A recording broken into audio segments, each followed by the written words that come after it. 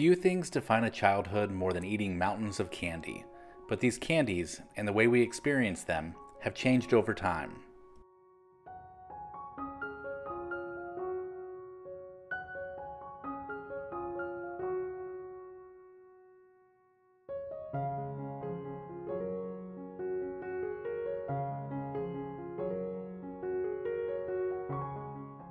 Penny candy has been a favorite for kids since the late 1800s.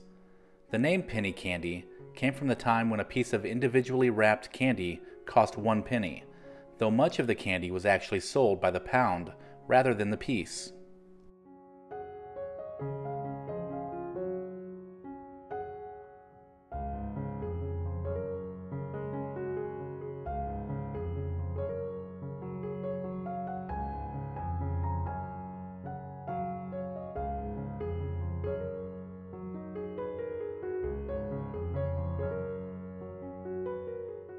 The first individually wrapped and sold penny candy came with the 1896 introduction of the Tootsie Roll.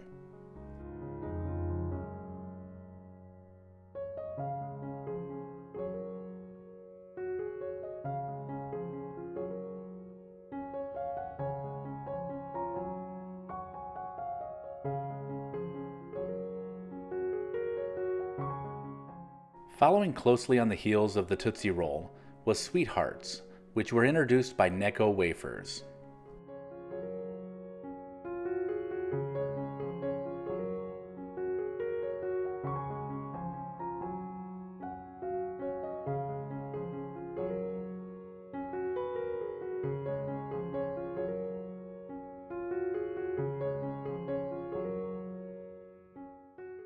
Chocolate candies entered the penny candy market with Hershey Kisses in 1907.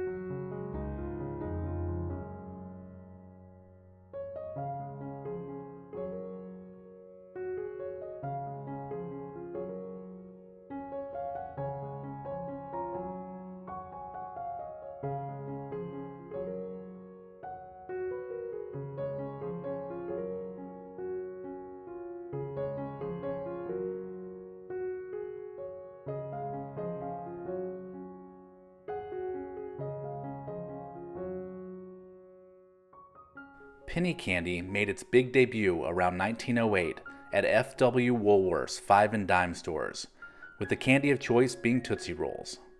They were so popular that Woolworths adopted an iconic penny candy aisle full of candies waiting to be scooped.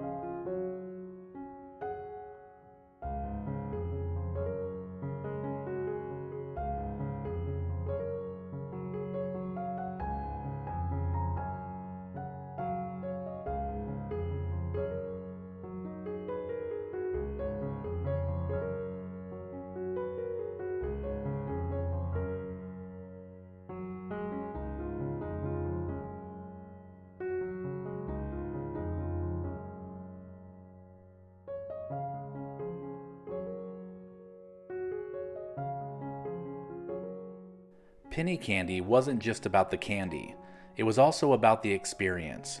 It was about grabbing a brown paper bag and trying to fill it to the brim with all the various choices of candy.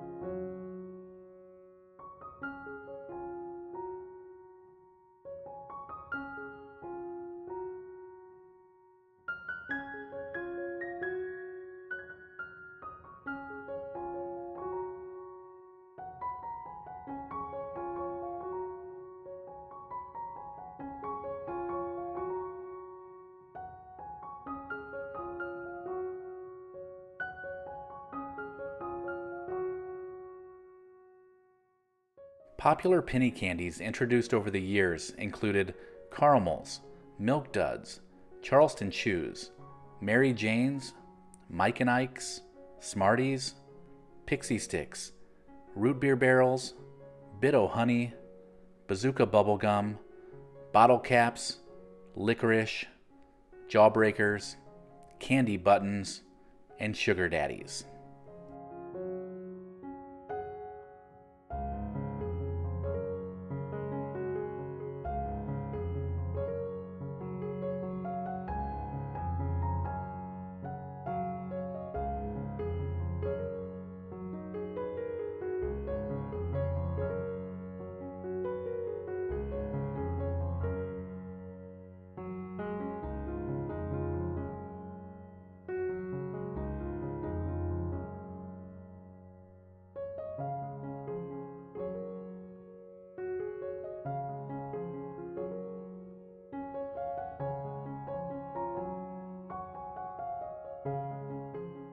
When the Woolworth chain closed its U.S. stores in the 1980s, much of the popularity of penny candy died out too.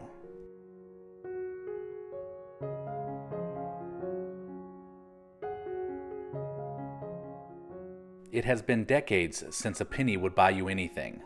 The penny candies of the 1950s and 60s are now sold by the box and cost a lot more than one cent.